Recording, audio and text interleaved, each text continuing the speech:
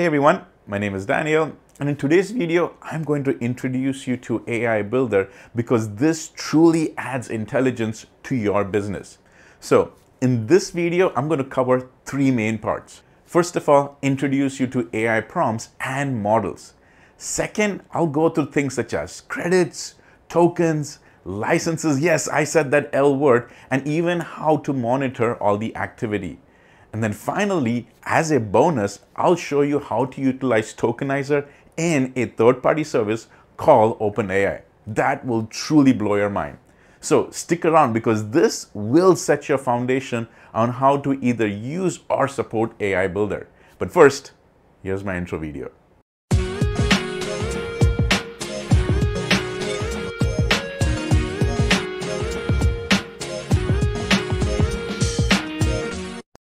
So let's get started. Now, when it comes to an overview of AI Builder, it actually boils down to two different types. It's the AI models and the AI prompts. Now, I know what some of you are thinking. It's like, Daniel, there is also document automation. Doesn't that fall into one of these categories? And the answer is kind of no, because document automation is an extension of these two models where Power Automate also comes in and fills some of the missing gaps. But the core, as far as the AI builder goes, the core are these two things, which is AI models and AI prompts. So as the name suggests, AI models are those that you can choose from several model types that are already suited for different scenarios, business scenarios. But the AI prompts is basically using natural language, which goes ahead and leverages the large language model or the LLM to perform these tasks. So let's deep dive into each of these. And let's start first of all with our AI models. Now for these AI models, it actually breaks down into two subcategories. There is the custom and the pre-built. Now the pre-built models are those that are ready to use. You can literally take the intelligence that is already available and apply that to your apps and flows. But the custom is completely the opposite those are the models that you build from scratch. And so they can be tailored to exactly your business needs. Keep in mind though, these ones definitely need to be trained and then also published. We'll take a look at more of that down the road. Now, again, each of these AI models, especially the ones that are already ready, there's 18 templates of them. Five of them are the custom ones, which is something that helps you get started, and 13 of them are pre-built. And all these models basically break down into four different categories. There's documents, text, structured data, and images.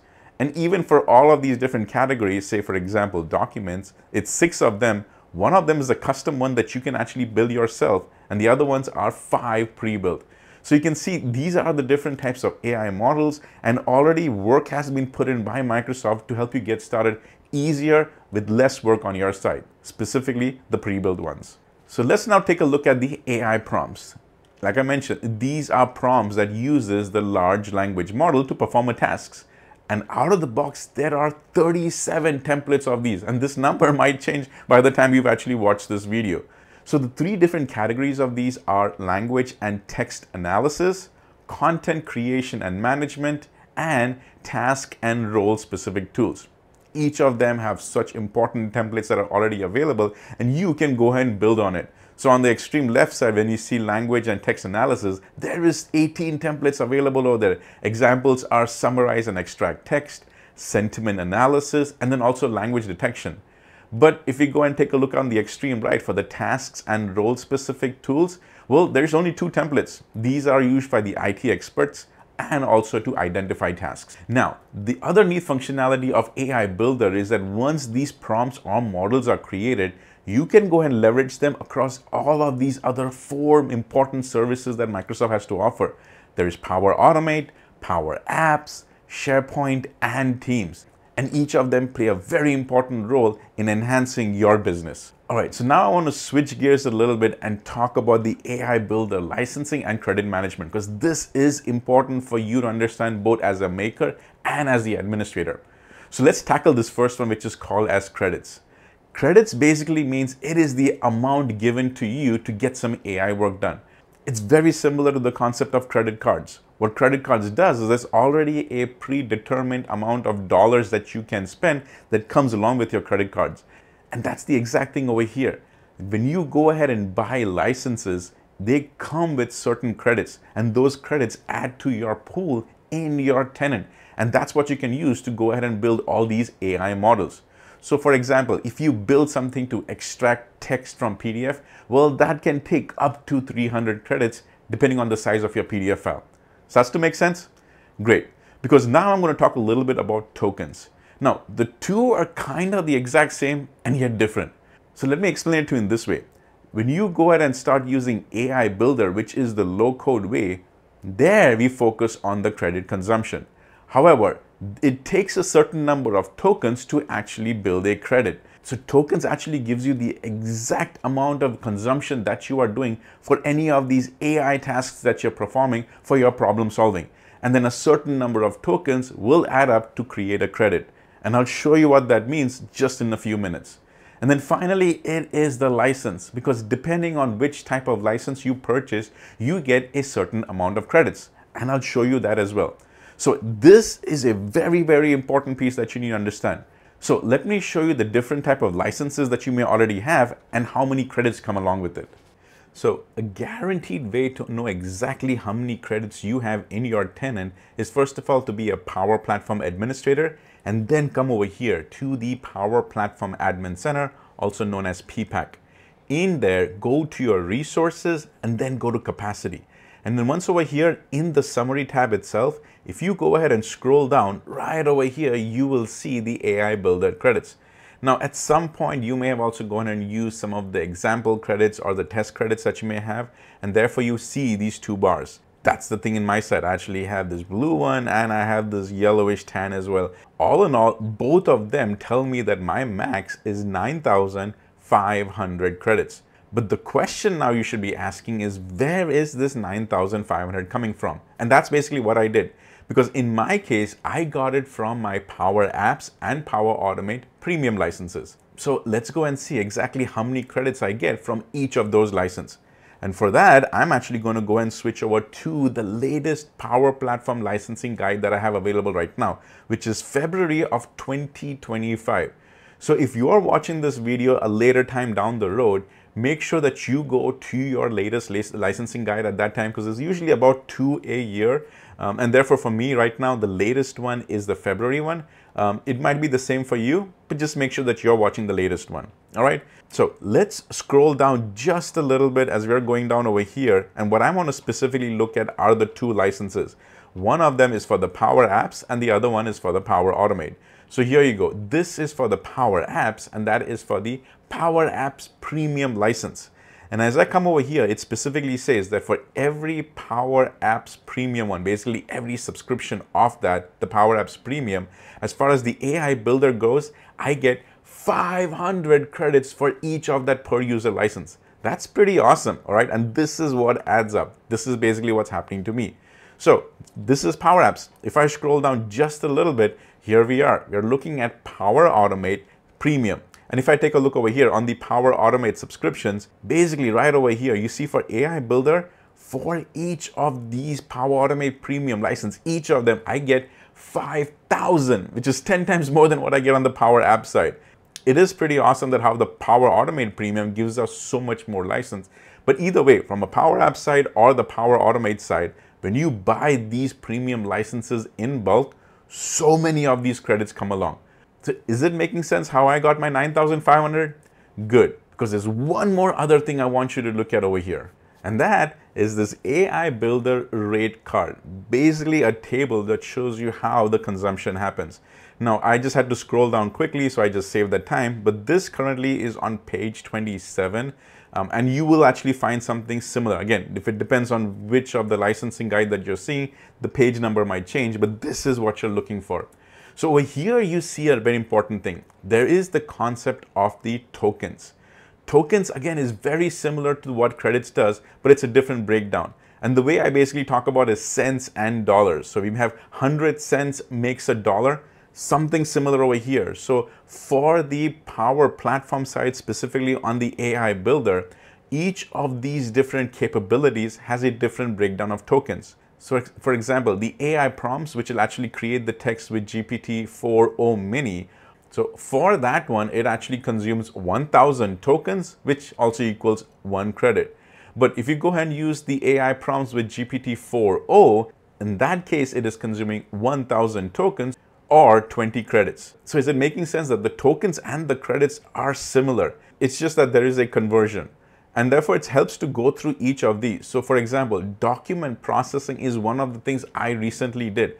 So when it comes to the training part of it, there is no credit or token consumption. However, document processing is on a per page basis. So for therefore, for every page, you are consuming 8,000 credits.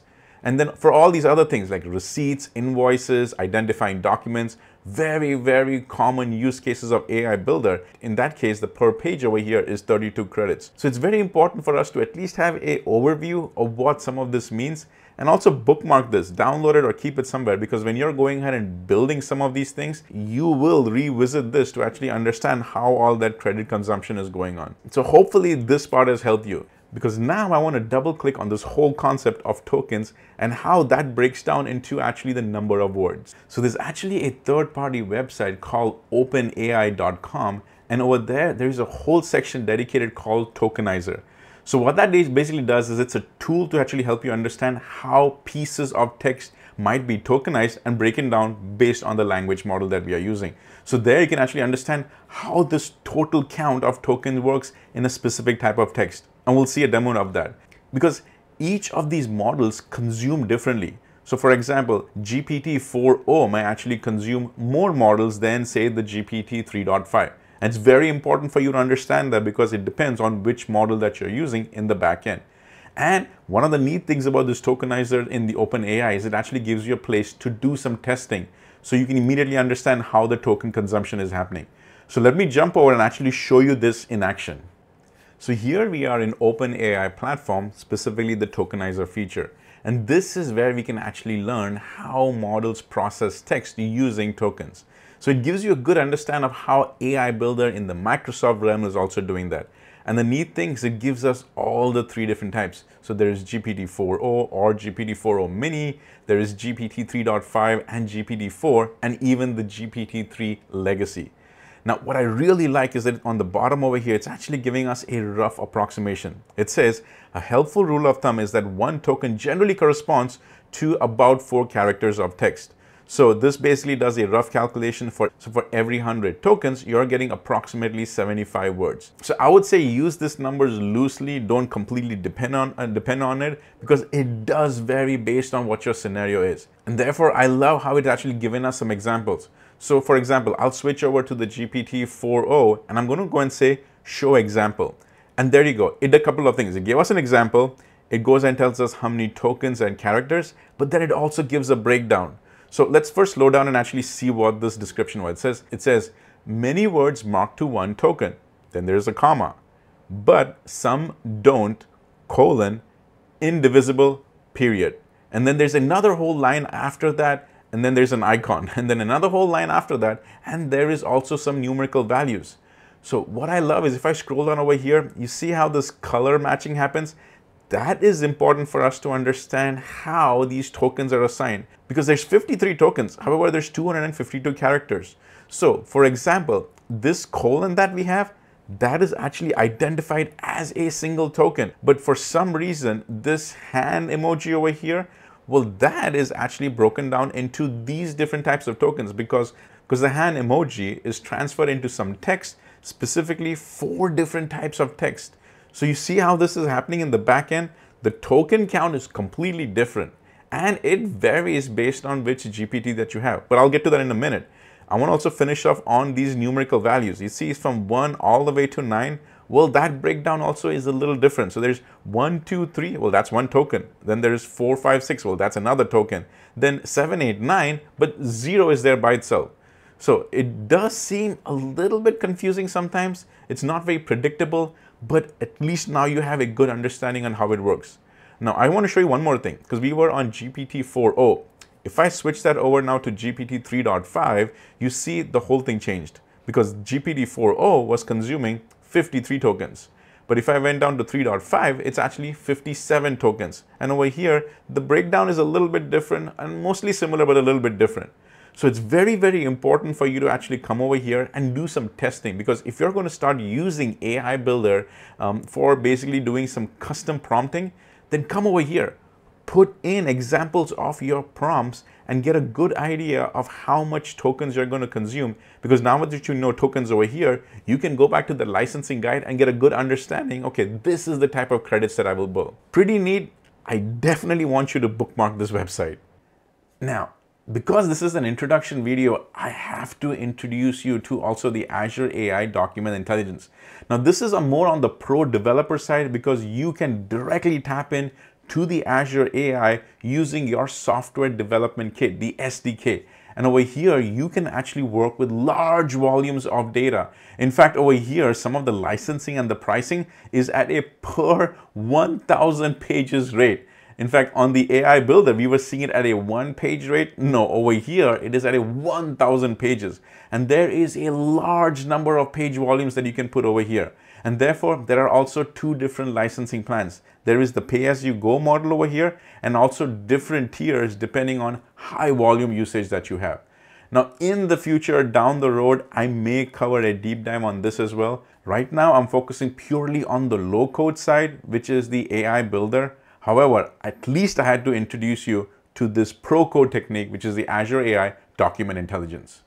So now that you have a good overview of what AI Builder is all about, in the next video, I'm going to drill down into the governance and the administration.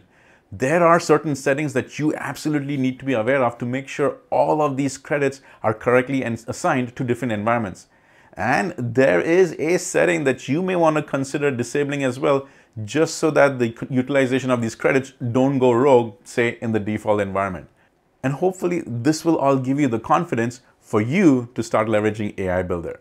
Hey, if you have a few seconds, can you click on that like button and even consider subscribing it? Because it's just two easy clicks for you, but boy, it makes a big difference for me. Also, if you don't mind, can you put in a comment below? Because that really boosts this video up to reach a higher audience. And once again, thank you for watching this video.